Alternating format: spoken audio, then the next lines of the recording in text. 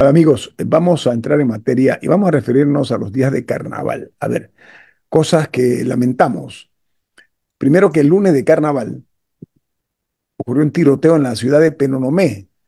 Penonomé tiene muchos atractivos, ¿eh? Eh, está entre otras cosas el balneario Las Mendozas. Por ejemplo, está también la angostura, famosa la angostura de Penonomé, la Plaza 8 de diciembre. O sea, tiene muchos sitios turísticos importantes, el Museo de los Hermanos Arias Madrid. Penonomé es un centro eh, importante para hacer turismo en la República de Panamá. ¿Qué ocurrió el lunes de carnaval? Un tiroteo en plenos culecos en Penonomé. Eso dejó un saldo lamentable de dos muertos y un agente de la Policía Nacional herido de una pierna.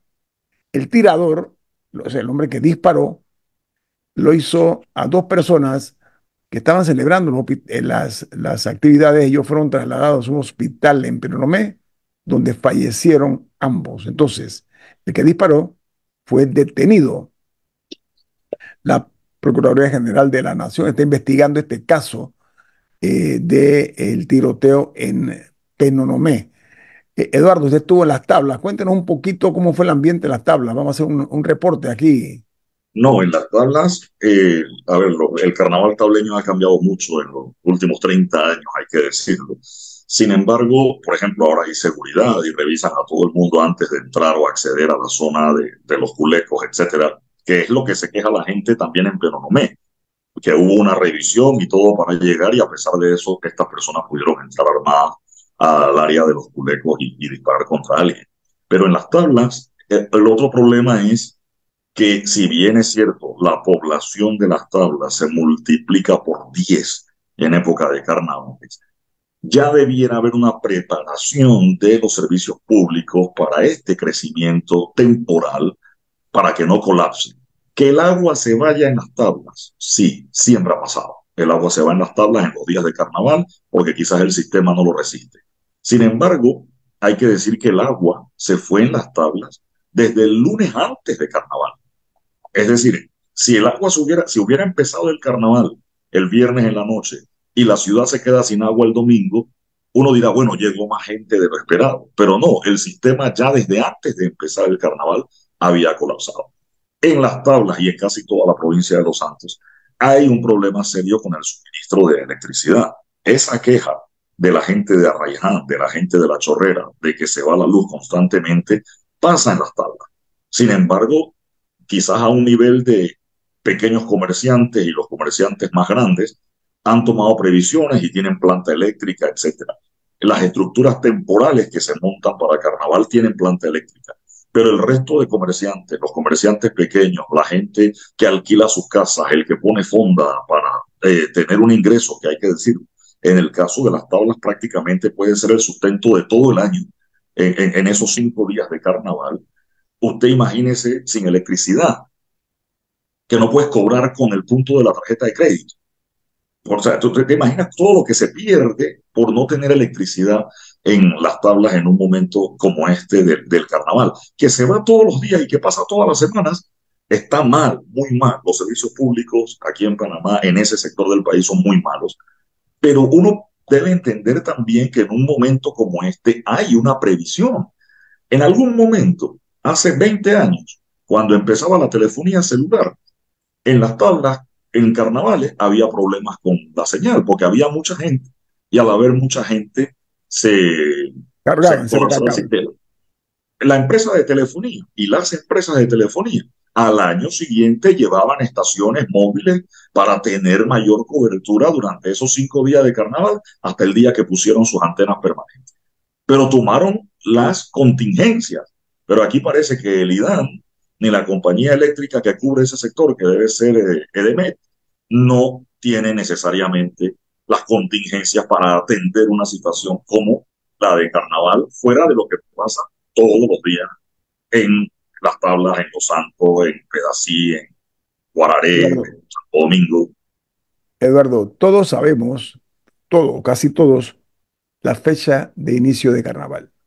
Casi todos los que somos panameños sabemos el flujo vehicular que se dirige hacia el interior del país y enhorabuena porque es una inyección a la economía de esos sitios.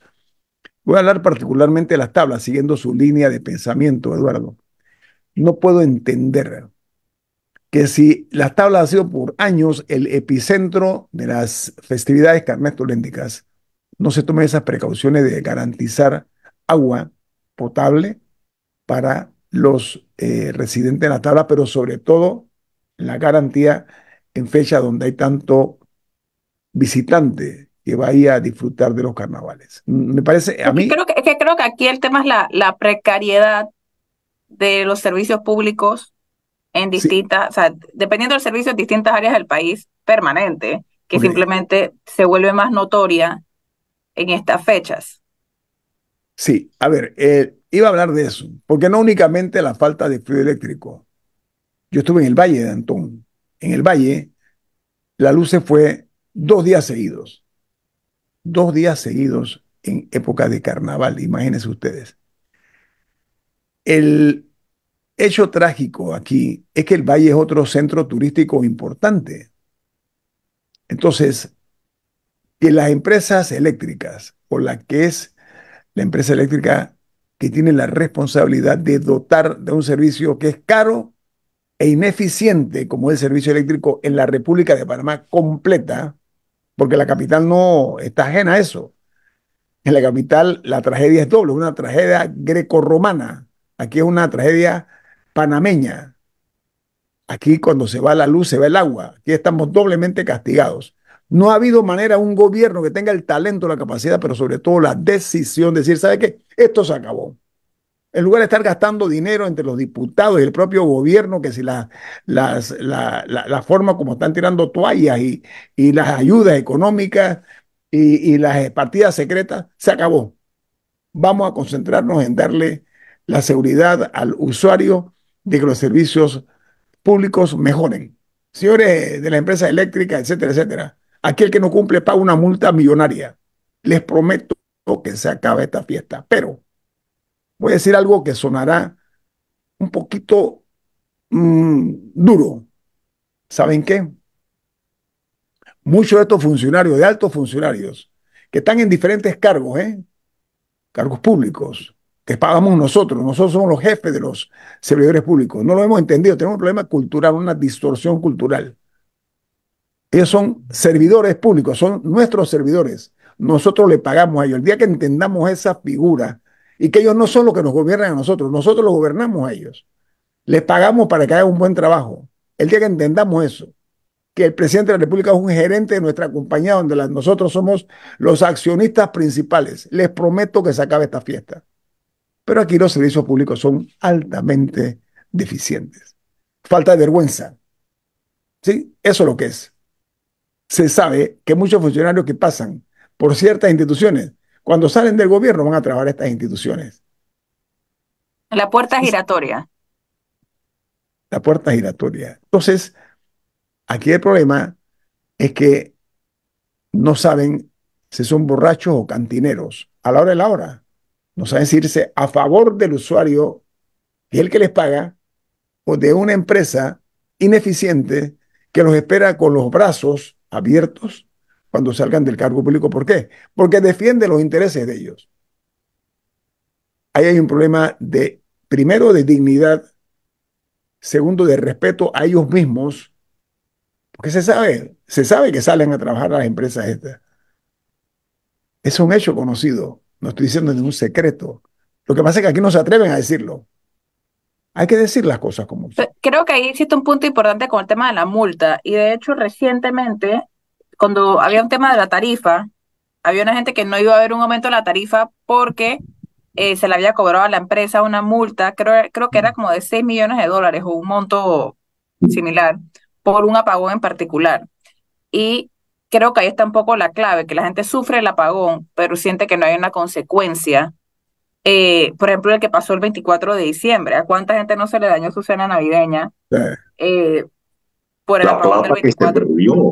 cuando te no, de los almacenes, de los salones de belleza, de... compras, y lo que te decía, cosas tan sencillas como pasar la tarjeta de crédito en el punto de venta que puede representar quizás el 80% y tú le dices a la persona no solo en efectivo y te hago una factura manual. O sea, tú tienes idea de lo que eso representa. El molde Chitré, el molde Chitré, el 20 de diciembre, que era día libre, día nacional en Panamá, y que es un día de alta eh, movimiento en los centros comerciales, mm, tuvo apagón. No le dicen el Boulevard a ese lugar. El que está en Chitré, sí, exacto. ese mall eh, estuvo apagado el 20 de diciembre. O sea, uno de los días más grandes de compras en Panamá, ahora que es Día Nacional, hay que decirlo, se ha convertido en uno de los días de más actividad. Ese día, ese mall no pudo vender en un montón de almacenes. Usted se imagina cuando usted hace cálculos de metas y proyecciones de año o proyecciones del mes, esa proyección no la pudiste cumplir en ese día. Y esa, esa plata no regresa, es decir, eso no se traslada para el 21, no que lo que tú no comiste hoy te lo vas a comer doble el día siguiente, no. Y, esas son las cosas que se dan. Entonces, entonces quizá, o sea, si se vieran más, más consecuencias. Paseo central, ¿Saben qué? Ah, Hacerle lo que no hacen Pero a, lo que voy es que quizás si se vieran más las consecuencias, uno sería un incentivo para que las empresas hicieran un mejor trabajo, invirtieran lo que tienen que invertir y dieran un servicio de calidad. Pero también quizá la gente estaría un poco más tranquila de que hubo una consecuencia por su sufrimiento, ¿me explico? Y hay que, pero el problema, es que, el problema es que no lo vemos lo suficiente. Pero también quiero ir a la institucionalidad, porque yo entiendo, y está muy mal, ese conflicto de intereses que ha explicado Guillermo, de la gente que deja de trabajar en la ACEP y termina trabajando en una de las empresas, ya sea electricidad o telefónica. El tema de la institucionalidad, es decir, los contratos deben tener unos estándares de calidad del servicio y de prestación del servicio. Y si no se cumple, vamos, multa. Una vez, dos veces, y a la tercera ya no es multa. a la tercera es rescindir el contrato, recoja y se va. El día que eso se dé, Eduardo, te prometo que se acaba la fiesta esta que tienen algunas transnacionales en nuestro país. Vamos al corte comercial. Esto es En Perspectiva, un programa para la gente inteligente como usted. Hemos hecho una disección de las contradicciones que hay en el futuro promisorio que tiene Panamá para desarrollar su turismo.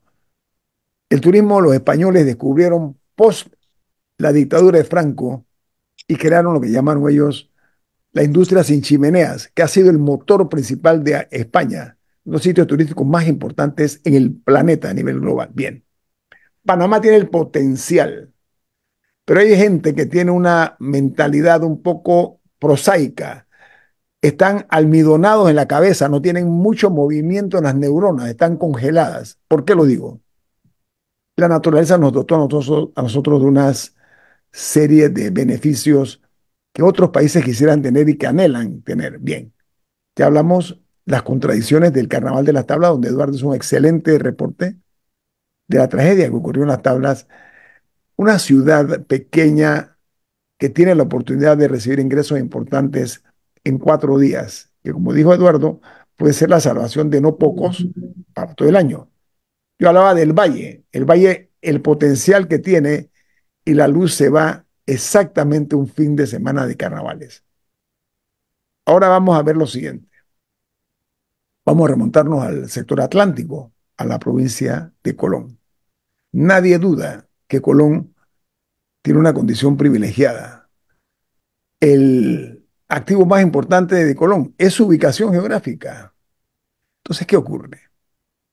Hay un inocultable crecimiento de la pobreza, eh, por una parte, y una soez concentración de la riqueza en otras áreas, que trae como consecuencia que en Colón, que ha esperado pacientemente que los gobiernos cumplan las promesas, Colón se mantiene todavía en la pobreza.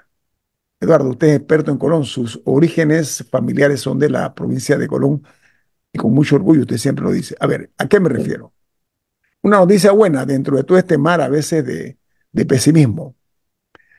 La noticia buena es que se reportaron que en Colón eh, llegaron dos grandes buques, cruceros, al eh, puerto de Colón 2000. Eran dos cruceros enormes. Eso fue el domingo de carnaval. Transportaban 6.018 pasajeros que entraron en este caso por la Terminal 2, se conoce como Homeport. Y otro tanto en otros cruceros entraron por la Terminal 1 de lo que se conoce como Colón 2000. El viernes y sábado llegaron otros cinco cruceros a Colón. A ver, ¿cuál es la realidad?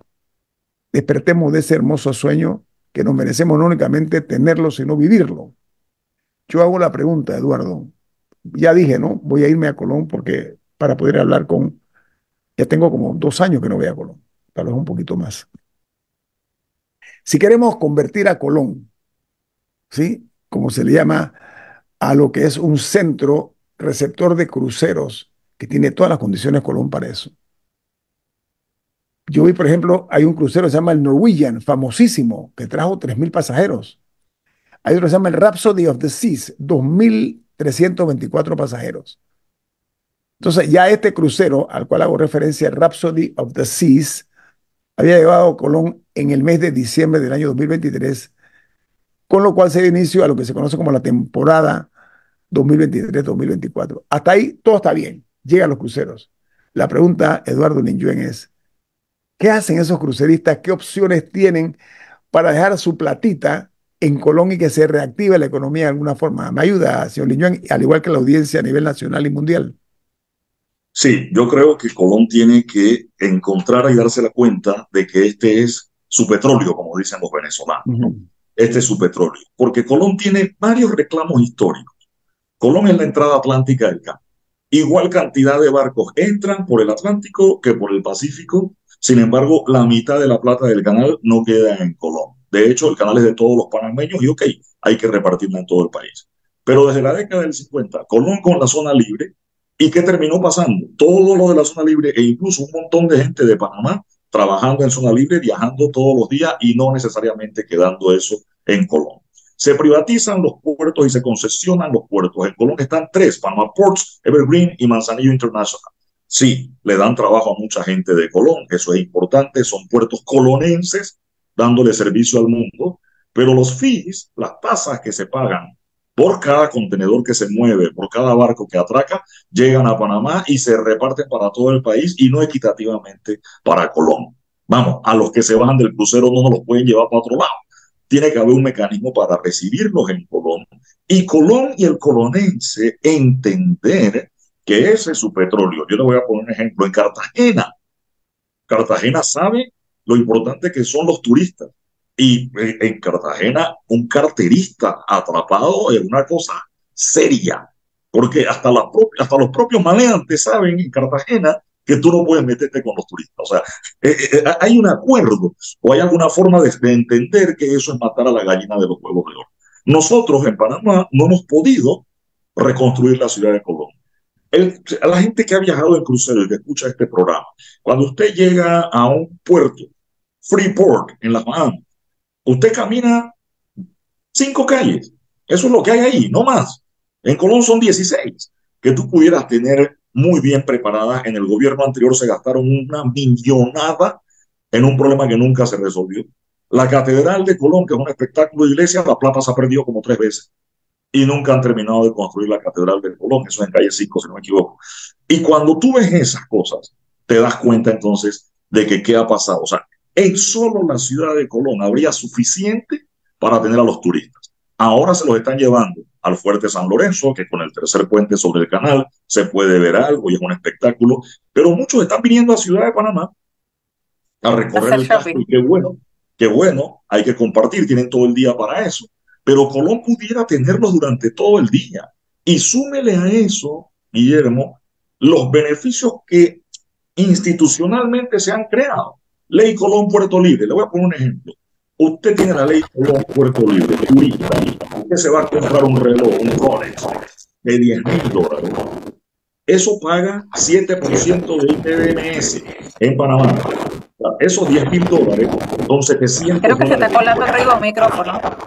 Sí. Eh, esos 10 mil dólares. No es tuyo. Sí, son, son 700 dólares de en Colombia. En Colombia, el 18% de IVA por ese mismo reloj Rolex, más el impuesto de introducción que tenga el país. Estamos hablando de que en Colombia, para comprarse un Rolex de 10 mil dólares, usted tiene que pagar 1.800 dólares de impuestos. ¿Usted qué hace con 1.800 dólares si usted es colombiano? Viene a Panamá, viene a Panamá, se queda el fin de semana, come en Colón, se compra el reloj y regresa a Colón en avión, en clase ejecutiva y todavía no se ha gastado esos 1.800 dólares. Entonces, eso.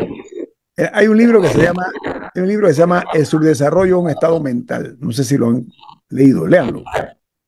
Las autoridades nuestras deben comprar una cantidad importante de estos, eh, de estos libros. ¿Sabe por qué? Porque la ciudadanía tiene otro problema. No sabemos distinguir entre lo valioso y lo grandote. Vamos al corte comercial. Esto es En Perspectiva, un programa para la gente inteligente como usted. Amigos eh, oyentes de En Perspectiva, estamos resolviendo un problema técnico. Siempre la tecnología tiene sus pecadillos. Bueno, vamos a continuar. Eh, este fin de semana, hoy están viviendo miles de personas procedentes del interior de la República. Y yo voy a darle las cifras oficiales de lo acontecido estos días. Por ejemplo, eh, dice la información que eh, viajaron al interior del país 144.648 automóviles. Hasta el día de ayer habían regresado 92.220 de estos vehículos a motor a la capital de la República. Se reportaron hasta ayer martes 398 accidentes en nuestras carreteras, de los cuales cinco fallecieron. Sin embargo, solamente tres se dieron en la ruta del carnaval y 159 personas sufrieron lesiones personales. El domingo de carnaval eh, fue un día con mucho movimiento también. Debemos ir pensando desde ya en cómo vamos a resolver el tema. Me explico.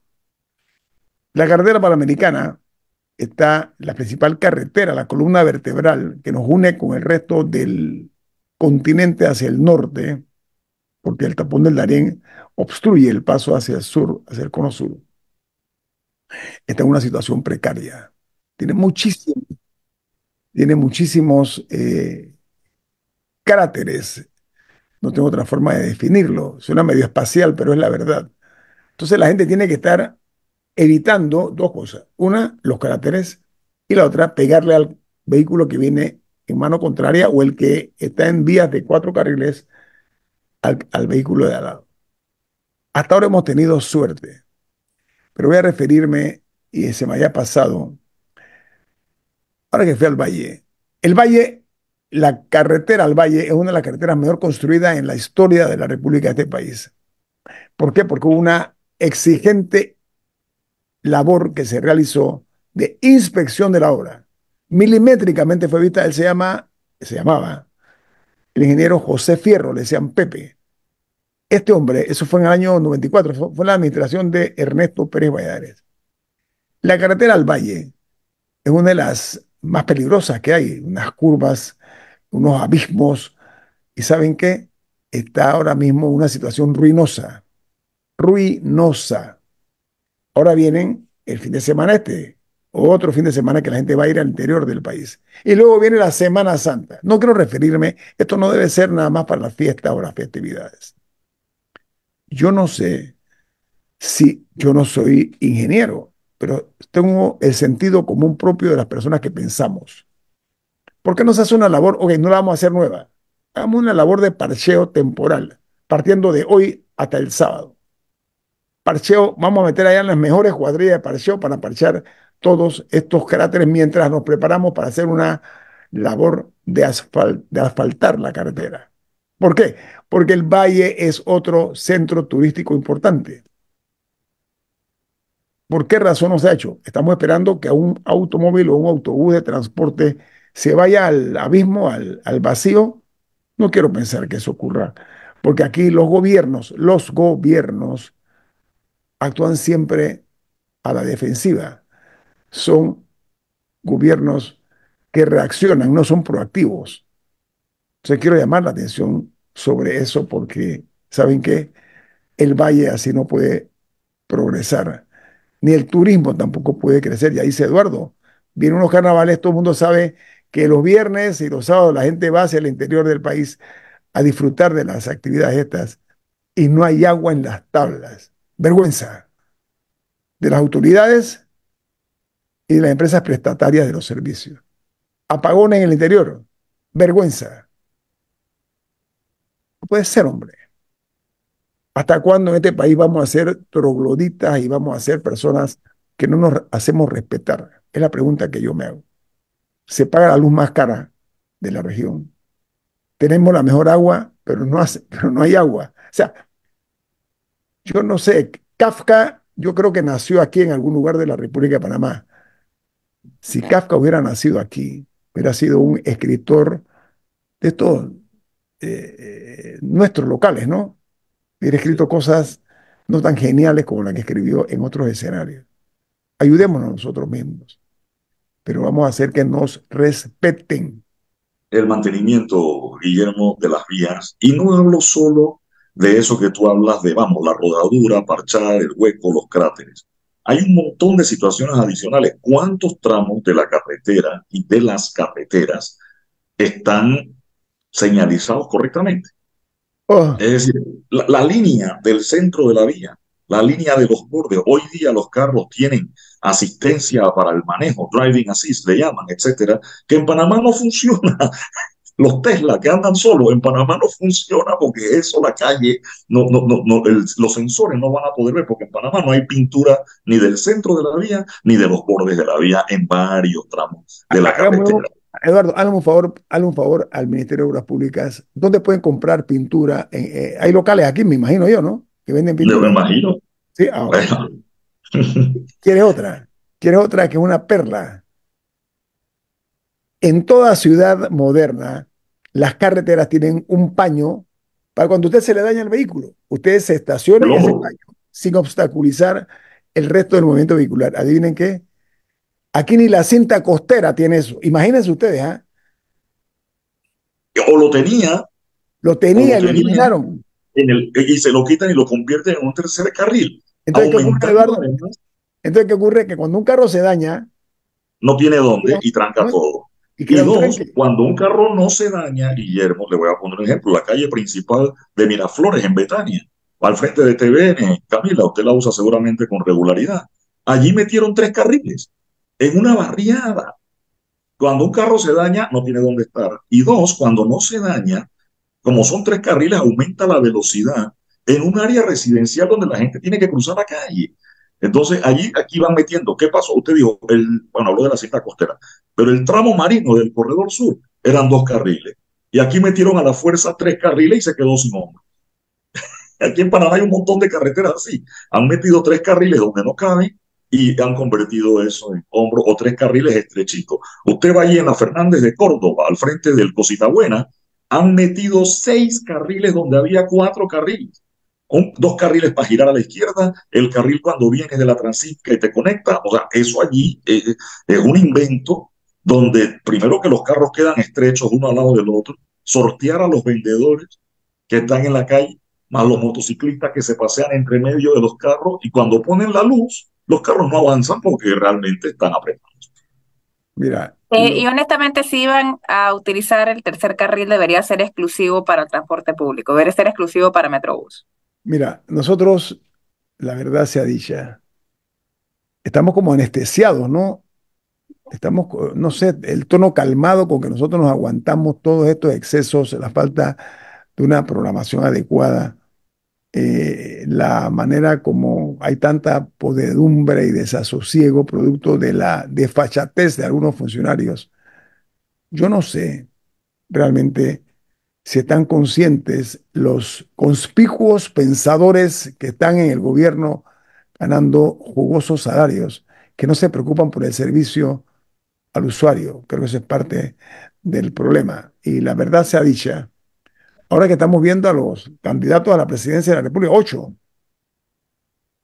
yo quisiera que hablaran acerca de cómo van a corregir este tipo de entuertos. Porque ¿saben qué? Aquí no se piensa en el usuario. Aquí todo es un asunto de negocio. Como dicen los Estados, en los Estados Unidos, it's a matter of business. Todo es un negocio. La grande pero, pero sí, creo, que, sí creo que es importante el, punto que traes. Permiso, permiso. Las grandes obras paquidérmicas que se han encontrado en este país, la justicia dice que se hicieron, ¿saben por qué? No por darnos un mejor servicio, sino por el negocito. El negocito en los sobreprecios, en las comisiones, en los sobornos de las deudas, digo, perdón, en, en las coimas. Eso consta aquí en, los, en, los, en lo que es la justicia panameña y la justicia extranjera. Brasil, España, lo han dicho en alta voz, con resonancia. Las empresas han dicho, le pagamos a los funcionarios panameños, lo han dicho, Eduardo, ¿sí o no? Sí, señor, pero quiero entrar en ese detalle, porque la justicia panameña también lo ha dicho. Y aquí, y yo voy a, así como a veces dice Murga, que a él le toca defender al que nadie quiere defender, a Fidel Castro, a Noriega. En el caso de Brecht, que se pagaron doscientos y tantos millones de dólares en coimas, 29 millones que reconocieron los hijos de Ricardo Martinelli en los Estados Unidos en un juicio, yo lo vi, yo estaba allí, no, no, es invento.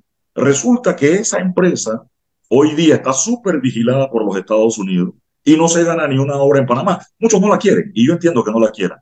Pero aquí, ¿tú sabes por qué no se la ganan? No porque no quieran negociar con el ex corrupto, sino porque como ahora esa está vigilada y no puede pagar coima, resulta que esa no se gana ninguna. Y las que negociaron, panameñas, que hicieron acuerdos de pena y todo lo demás, que son igual de corruptos, esas sí siguen concursando y ganando.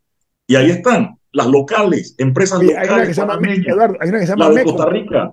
Eduardo, Meco de Costa Rica. El dueño estuvo preso en Costa Rica. El dueño estuvo preso en Costa ah, Rica. Ah, entonces, ¿por qué? Y yo entiendo, si le vamos a pasar la niveladora es a todo el mundo, vengan los honestos.